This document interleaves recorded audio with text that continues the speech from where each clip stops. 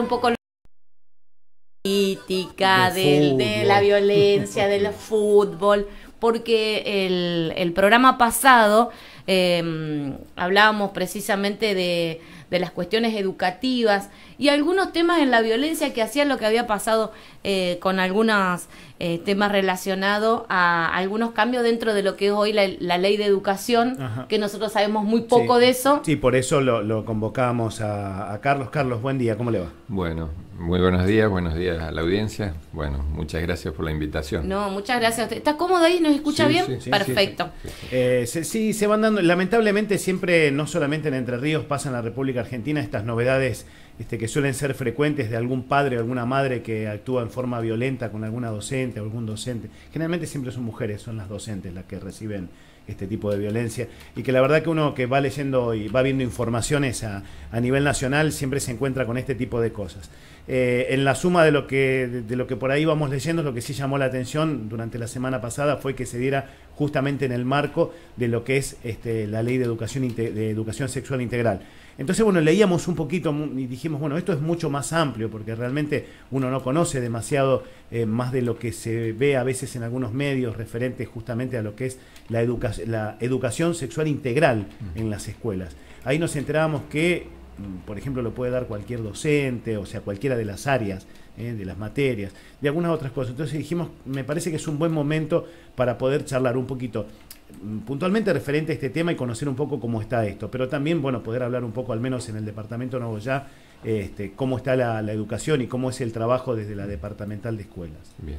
Eh, nos focalizamos un poquito por allí en, en, lo que fue este hecho en particular, que este padre que este, golpeó a una docente, eh, realmente porque la, alumna se negaba a recibir educación sexual. Eh, yo calculo que debe haber tomado conocimiento, al menos desde su departamental. Sí, sí, esos son hechos que nosotros, bueno, lo tenemos en cuenta y, a veces lo, charlamos dentro del equipo de supervisores también como para también prevenir esto, ¿no?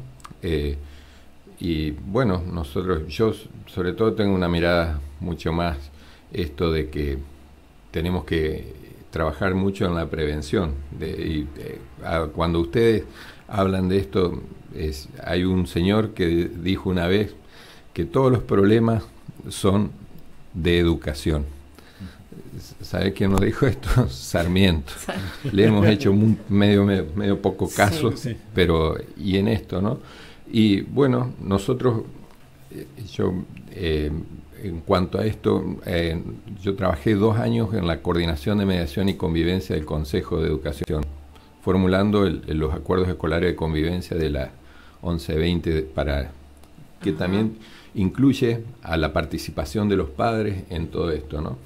Incluyen la participación de los padres en, la, eh, en decidir cómo va a ser la convivencia en esto. Esto está todo, hasta si se quiere, reglamentado y estipulado y, tenido en cuenta. Y en esto prevé eh, que todos los años, a principio de año, se haga una asamblea eh, escolar con la participación de los padres para que los mismos padres digan qué es lo que deciden y y se comprometan en lo que quieren en cuanto a la convivencia. Fíjate. Que es la, es la otra pata de la escuela. Es la otra pata, tal cual, tal cual. Y entonces eso nosotros está previsto. Lo que falta aceitar es esto, de que los padres concurran a esos espacios y, y, digan lo que necesitan para sus hijos y quieren para eso. Es una forma de ponernos de acuerdo. Con esto de los acuerdos escolares de convivencia, a mí los directivos o los docentes me preguntan, y Carlos, ¿qué hay que hacer? ¿Cómo se hace? ¿Cuál es la herramienta? Hablando, eh, poniéndonos de acuerdo. Seguramente el denominador común y el punto en común de la educación, sobre todo para padres y, docentes, es el chico. Cuando yo le, a veces hay un padre enojado y dice, ¿y usted qué, señor qué le interesa? A mi hijo, ah, mira qué casualidad, a mí también. A partir de eso nosotros tenemos que empezar a construir, a construir acuerdos, acuerdos y sobre todo esto, ¿no? La escuela no está ni siquiera, porque también a veces nos vamos al otro extremo, que se pide, que es un viejo paradigma, la sanción, la expulsión, la reducción de jornada. Es un paradigma punitivo, de castigo. Y la escuela no está para castigar, está para enseñar. Cuando uno pierde ese rol, eh, medio que se nos desvirtúa todo. ¿Por qué? Porque cuando hay un mal comportamiento se pide inmediatamente la exclusión de ese chico. Y no, nosotros tenemos que enseñar con ese chico también. ¿Por qué? Porque ese chico necesita de esto. Venimos de una generación también que, eh, la parte de esta generación nuestra, eh, que la época de, ir a la escuela también, eh, el castigo era parte de la escuela también. Y, en, y en esos cambios también entre padres y al y el docente y el alumno hay una cadena también. Si bien en el paso del tiempo se ha disminuido el tipo de castigo, porque yo creo que mis abuelos te este, contaban el tipo de castigo.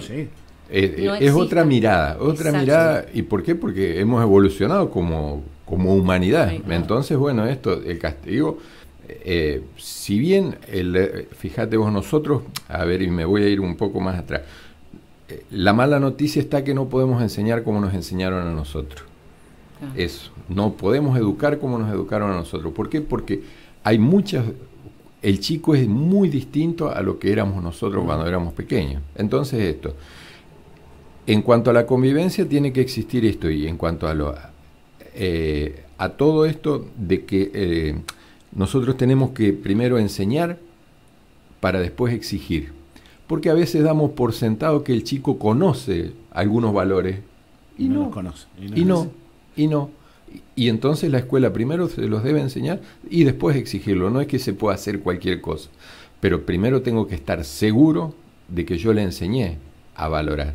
Y e, en esto aparece, bueno, la, construcción, ¿no? Desde los primeros años, en esto de cómo nosotros enseñamos eh, esto de, de poder eh, promover primero los valores para después exigirlo. Esto sería una, eh, un paradigma, un cambio de paradigma, ese eh, paradigma humanista, eh, perdón, ese paradigma punitivo, un paradigma humanista, que es preventivo y propositivo, preventivo y propositivo. Yo debo enseñar para después exigir.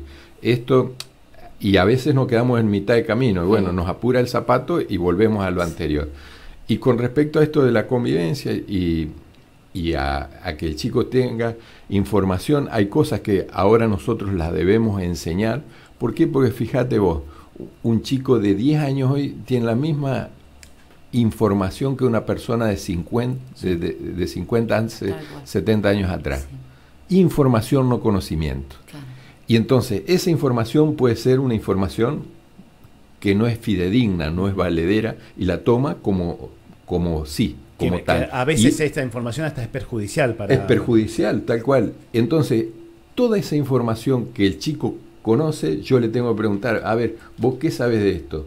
Mm, mira vos, me parece que no es por ese lado.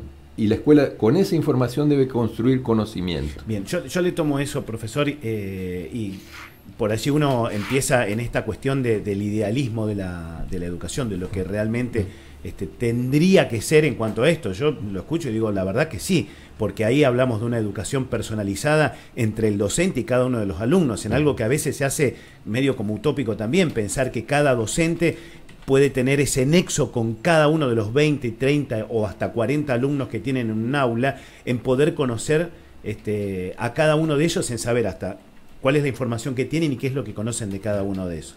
Eh, y también con los docentes, porque es, eh, es una, un, trabajo que va para hacia, hacia, los dos lados, ¿no? También el trabajo con, con, los padres, que yo lo veo como difícil. Veo una, eh, una década, una generación de padres desinteresados en sus hijos.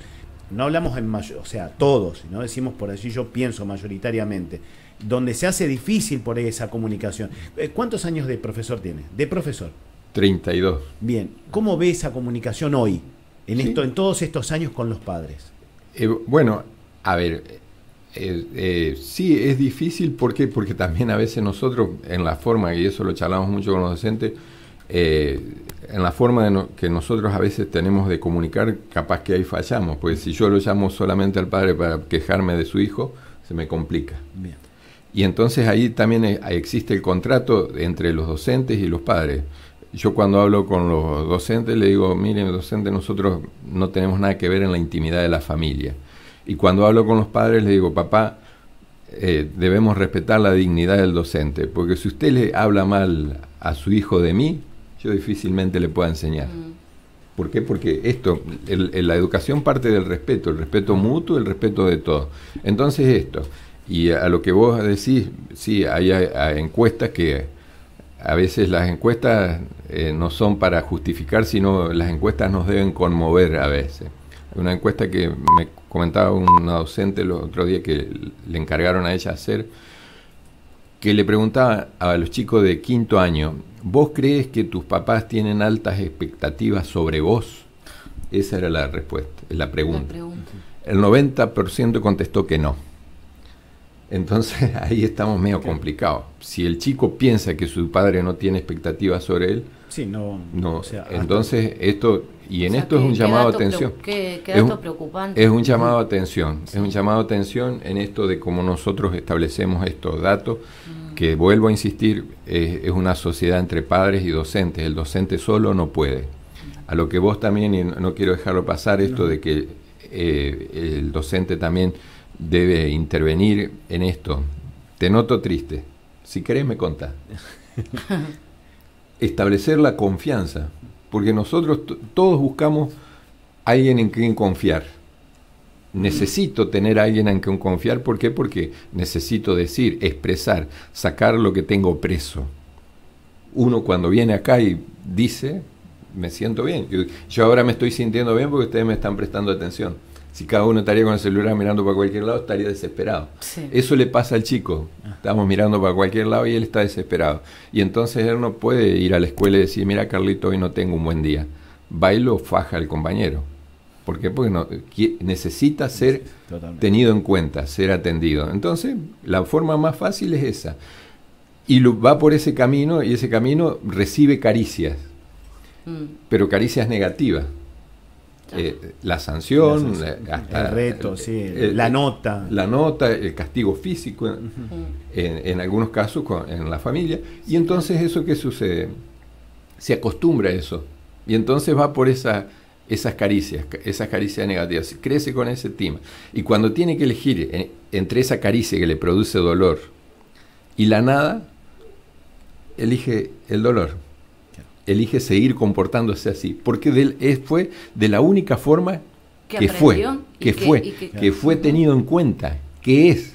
Y eso es impresionante, porque uno ve que a veces los gurises, yo digo gurises afectuosamente, los, gurises, los gurises duran, crecen, permanecen, aguantan, pero no son. Y eso, y, es y eso nos debe interpelar a nosotros como educadores y a nosotros como sociedad y por supuesto en la sociedad están incluidos los padres, los mm. padres que nos tienen que ayudar en esto y son los, eh, porque a veces uno también en la escuela ve que eh, edúquelo usted y no, yo solo no puedo. Y en esto de la confianza, en cada escuela uno tendría, dice Blechmar, que es un, un pedagogo interesante, dice Blechmar que en cada escuela hay que poner un cartel que diga acá hay tiempo y ese tiempo referido a la escucha, a la escucha atenta de lo que le sucede al chico.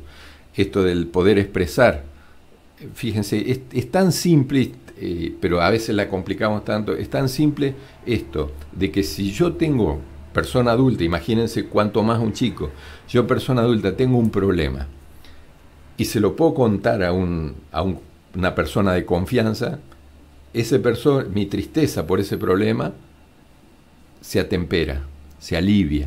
Si yo tengo una alegría y se la puedo compartir a un compañero, esa alegría se expande. Así funciona.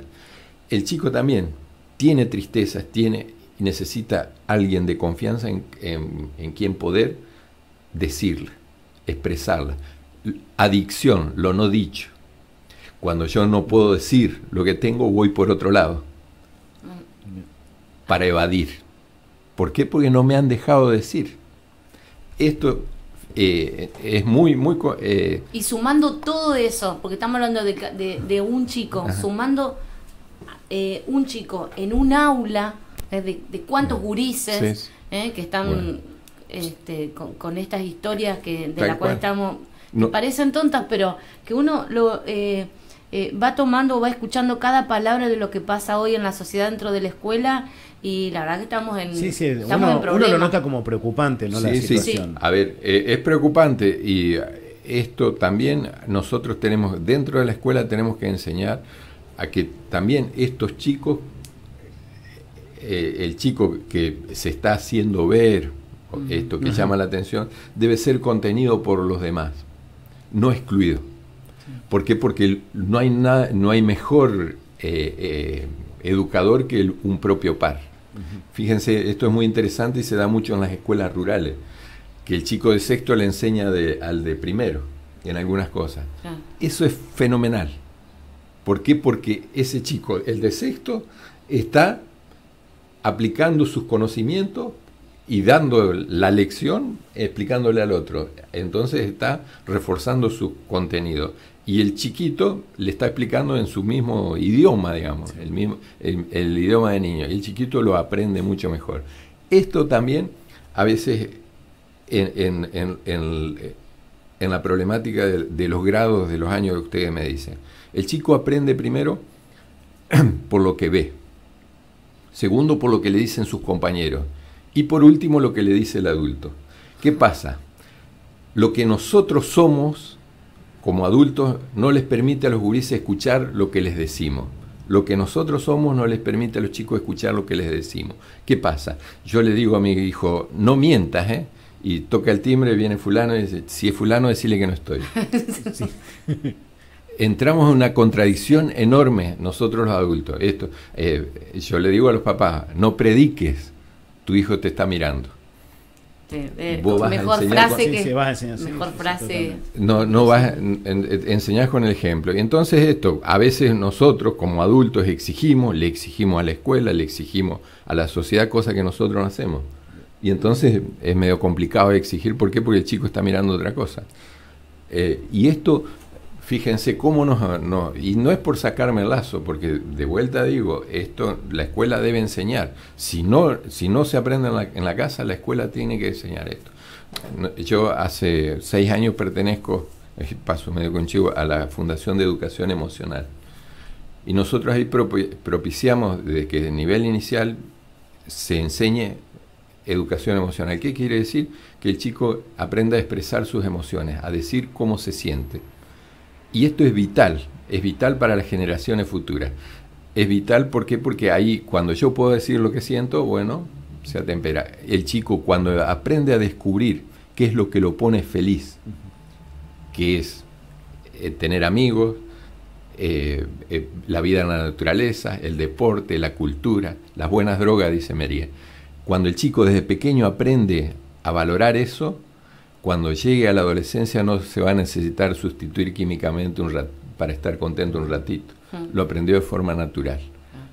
Y esto, nosotros proponemos esto. Eh, los otros días, justo el, la semana antepasada, tuvimos una reunión en la Comisión de, de Educación del Senado, donde vieron con muy, muy buen agrado esto. Esta, esta fundación que, de la cual usted está hablando, ¿es a nivel provincial o estamos hablando de una fundación? Es una fundación, eh, yo soy el vicepresidente de esa fundación que eh, eh, estuvo, ha sido fundada por un sanjuanino, Lucas Malaisi, que es un psicólogo, que él, bueno, está tomado de esto. Y esta fundación, estamos próximos a tener, por decir así, 8 millones de seguidores. 8 millones de seguidores. en, en las redes sociales porque, y fíjense, esto que me, quiere decir, la avidez que hay por esto, de nosotros poder establecer esto. Y bueno, después que tuvimos esa reunión en la Cámara de Senadores, nos consiguieron una, eh, una, una entrevista con el vicegobernador de la provincia. También que bueno, que sí, ya está presentado el proyecto de ley y bueno, conseguimos el ok de él de que va a ser eh, tratada en esto, ¿no? ¿Qué tiene que ver esto de la educación emocional? Es, se antepone a todas, a todas las problemáticas. ¿Por qué? Porque yo, si le enseño al chico a tener una autoestima alta, una buena autoestima, me estoy anteponiendo al bullying. Si yo formo una autoestima alta de ese chico, me estoy anteponiendo a la droga. Si yo formo una autoestima alta de este chico, también a través de la educación emocional le puedo enseñar esto de eh, el amor, el amor por el trabajo, el amor de pareja, cuándo se da, con quién, cómo puedo elegir, sin grandes términos, pero el, amor sexual, yo tengo que respetarme a mí mismo para después eh, poder, no, nadie, nadie tiene derecho a hacerme a mí lo que no quiero. y, todas esas cosas, fíjate, se anteponen a esto. A veces eh, esto de enseñar antes al chico a decir no, está bien que todos los eh, narcotráficos, narcotraficantes estén presos, mm. pero sería mejor que se mueran de hambre porque, pues no tienen a quién venderle. Entonces, fíjense, esto también, y esto es una tarea titánica del siglo XXI de la escuela. La escuela en el siglo XXI, dice Mane, eh, que nosotros en este, el siglo XXI tenemos que administrar el tiempo y las emociones. Mucho de nuestro tiempo lo perdemos frente a las redes. Y también, no es una cuestión mía o de esta fundación, los pilares de la educación de la UNESCO. ¿Qué pide la UNESCO para el siglo XXI que debe enseñar la escuela? La escuela debe enseñar a conocer, cosa que hacía siempre, a hacer cosa que hacía siempre a, través de la técnico. Pero esto es la novedad. La escuela tiene que enseñar a ser, a ser personas. Y a vivir juntos. A ser personas y vivir juntos. Y ojo, esto no lo pide la UNESCO para la Argentina, que buena falta nos hace, sino que para el mundo. Mm. Entonces, ese es el nuevo desafío. ¿Por qué? Y por eso decía hoy, no podemos enseñar como nos enseñaron a nosotros, porque la escuela del siglo XX solo enseñó a ser era conocimiento. conocer y hacer. ¿Por qué? Porque eh, eh, formaba para profesiones u operarios. Hoy no sabemos qué profesión van a tener nuestros chicos. Entonces estamos medio que quedando atrás con eso. Entonces nosotros tenemos que fomentar mucho más, y ahí aparece lo del miedo que hablamos hoy, la creatividad y la curiosidad nuestra creatividad y nuestra curiosidad ha sido cercenada. ¿Por qué? Porque nos condenaron en el error. O sea, está mal. Y vos después, el ojo, nunca más eh, hablas. Eh, a veces a mí me pasa cuando doy charlas eh, así, 500 personas, docentes. Y, y digo, a ver, docentes, por favor, díganme la definición de educación. Y es un silencio, yo juego con eso, es un silencio Nadie se atreve a decir. ¿Por qué? Por miedo a ser condenado, por miedo, y, ahí explico eso, porque nosotros fuimos formados así, con esto de que si te equivocas, quedas en evidencia. La, condena. La condena. Y el chico puede decir, mira, te estás equivocando en esto, pero a mí me gustaría que a través de ese error nosotros empecemos a solucionar, empecemos a educar. Porque si vos lo condenás, no participa y no puede después dejar expresado lo siguiente. Necesita equivocarse, necesita ser habilitado a poder decir. Y bueno, y la creatividad y la curiosidad. Eh, la, curiosidad también en esto, en muchos aspectos. El chico de por sí es curioso, pero después se le va cercenando esto. No, no, no mires esto, no toques esto. No. Y bueno, con esa curiosidad, a ver, ¿qué descubriste? Bueno, aprendamos de esto algo qué información tenés, lo que veníamos diciendo. Todo esto tiene una connotación. Y bueno, dentro de lo de esto de la propicio de la educación emocional, esto mm. tiene mucho que ver, ¿no? De, conservar la creatividad y la curiosidad y, de poder decir cómo nos sentimos. Y dentro de todo esto, porque la verdad que yo lo escucho en cuanto a cómo tiene que trabajar, cómo tendría que trabajar el docente a nivel general con, con los jóvenes, eh, dentro de Entre Ríos y dentro de la departamental a mí me resulta por allí como difícil. ¿Cómo están los docentes trabajando referente a todo esto? Porque hay como un nexo dentro de lo que yo escucho. Y para mí, la verdad que yo eh, que me preocupa mucho el tema de la educación, porque uno va viendo a, los jóvenes de hoy y hay muchas cosas en las que uno dice, por Dios, o sea, ¿qué es lo que se está formando hoy con muchos de estos jóvenes? Eh, ¿Cómo está trabajando el docente hoy dentro de la departamental, dentro del área particularmente que a usted le, compete aquí? Nosotros, eh, a ver, vemos así, hay muchas innovaciones, hay docentes que se caracterizan por eso, de, tener esta innovación. En, en esto que yo venía hablando de educación emocional, hay mucha receptividad de esto. Por supuesto, al no ser ley, uno no puede imponer, sino que lo toma el que. Y, por eso hemos hecho capacitaciones y todo esto en respecto a esto. Y ahí hay algunos, eh, algunas eh, por ejemplo, experiencias que han dado muy buenos resultados en, distintas escuelas. A mí a veces me llaman y me para mostrarme los talleres que están dando Y bueno, los otros días habían dado un, taller sobre la risa. La risa y, la, y los abrazos liberan endorfina, que es la morfina natural, calma el dolor. Y los chiquitos de segundo grado eh, estaban en eso. Y bueno, fuimos, hicimos un taller y hay cosas que uno rescata como novedosas en esto de, de poder entrevistarse. ¿Por qué? Porque ahí todavía está intacta la, la respuesta. Y yo les pregunté esto, ¿no? A ver, Gurice, cuéntenme qué es lo que los pone triste. Y uno, el más extrovertido, salta y me dice, ¿y qué va a hacer? Dice, que no haya wifi. No.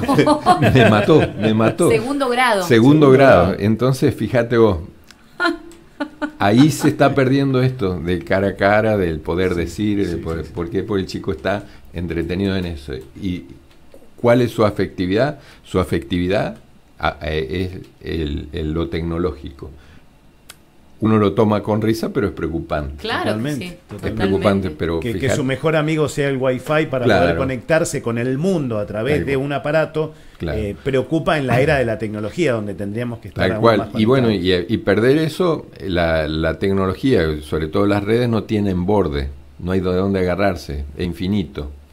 Pero vos después necesitas algo de donde, algo de seguridad, de, de que el que eh, tenés al lado te diga te quiero mucho, ah. te estoy orgulloso de vos, te extraño, todo eso, eh, eso empodera, porque lo otro termina siempre también ahí, va por lo adictivo, querer más, más, más, más, consumir más, y bueno, tengo el Facebook y abro el Instagram y me voy al Twitter, me voy a esto, y estar, pero el cara a cara no se da mucho, ¿no? Y entonces estos talleres de, de estos docentes de, de poder hasta si quiere decir los beneficios que tiene eso, está muy bueno. Después hay, talleres eh, referidos al conocerse a uno mismo, con, meditación, hay otros que están haciendo, eh, se, implementan con los, con los padres también, hay talleres. A veces eso uno así yo no tengo problemas también en a veces participar en estas charlas con los padres porque me parece interesante de que todos nos planteemos y, conozcamos de cómo funciona esto, ¿no? Porque a veces uno por, hasta si se quiere, por no conocimiento eh, de estas experiencias, nosotros hemos hecho algunas también en caso testigo para cuando presentar el proyecto de ley en unos jardines maternales de, no de, de pero de una zona muy vulnerable, vulnerable de la capital. Y se da eh, la, condición de que esos padres, bueno, eh, trabajan en el centro como cuidacoches, coches juntan cartones, todo eso, y van y dejan sus hijos ahí. La característica de estos padres es que son muy jóvenes. Y entonces se da esto, cuando nosotros hacemos los talleres entre que participan los padres con los hijos, a través de esto de la afectividad del abrazo, vos veías ese papá arrodillarse y, decir qué siente cuando el chico lo abraza, se desencajaba. ¿Por qué? Porque, y, no es culpa de esos padres, porque esos padres no lo vivieron. Claro.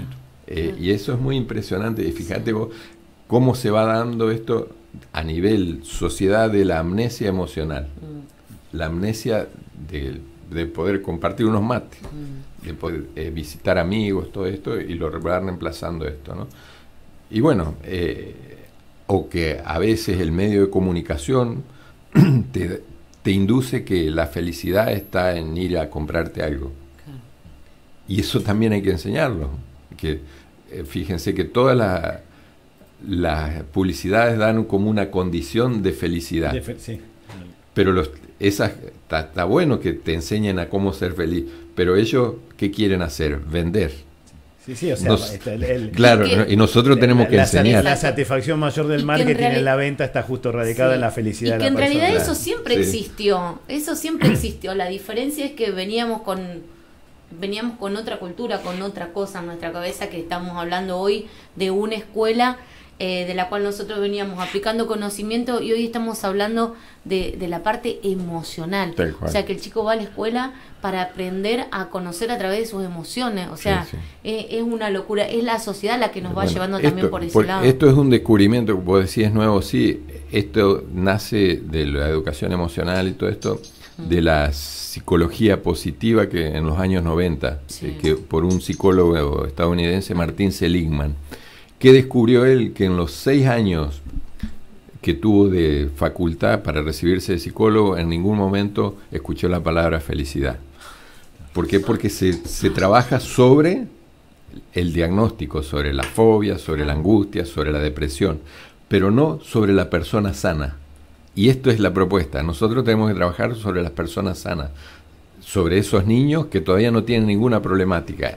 Anteponernos a esto, a fortalecer su autoestima, su asertividad, eh, a, poder, hasta hipotéticamente, yo siempre hago medio que el mismo ejemplo, pero cómo vos pensás y sentís de acuerdo a lo que vos haces. Vos podés engañar a, todo el mundo, pero a ver, ¿qué sentís vos si ves una persona tirada y la ayudás? ¿Qué sentís vos si ves una persona tirada y te haces el tonto? Sentís lo mismo. Ah. Podés engañar a todo el mundo, menos a vos. Y esto también, cuando vos el chico lo, lo haces y lo pones a pensar estas situaciones hipotéticas a través de la literatura que hubieses hecho en este, en este caso, a través de la representación de una obra de teatro, lo que hablamos hoy de la música, eh, nosotros tenemos que darle mucha importancia a, la, a las áreas estético-expresivas, a la música, a la educación física, la misma importancia que a la matemática. ¿Por qué? Porque mm. el chico a través de la música puede expresarse eh, recién comentábamos esto del evento que hubo los otros días, ah, que los chicos se subían a cantar ahí, que de todas las escuelas eh, que participaron, y yo, bueno, les preguntaba, ¿qué sentiste mm. cuando, cuando eh, después de cantar? Nunca pensé que me iba a emocionar tanto, me ah. dijo una criatura de tercer grado. ¿Por qué? Por, ponerse ahí a consideración de que y, y, poder decir y poder no, fue, muy y bueno, todo eso tenemos que alentarlo. Pues nosotros vamos a hacer una, una pequeña pausa y charlamos, si le parece, profesor, educación sexual integral. Eh, ¿qué, es lo que abarca? Y porque es algo como medio nuevo, que viene muy eh, en tela de juicio de muchos padres, eh, con esta cuestión de, de los miedos mm. que se generan a raíz de que si se le enseña o qué es lo que se le enseña o no eh, si hay capacidad, si están capacitados o no los docentes para, para, enseñar esto. Hay una cuestión de miedo, un tabú en cuanto a la educación sexual, que fue de, muchísimos años, que ahora ya tendría que estar un poco más liberado, pero parece que a los argentinos todavía nos cuesta bastante. Pequeña pausa y ya retomamos esta muy buena charla con el Muy interesante, mucha gente está escuchando atenta y, este, y agradeciendo la, presencia. Pues, estamos aprendiendo, pone una mamá. Y está buena hora. No te desconectes. Aún queda más. 30 de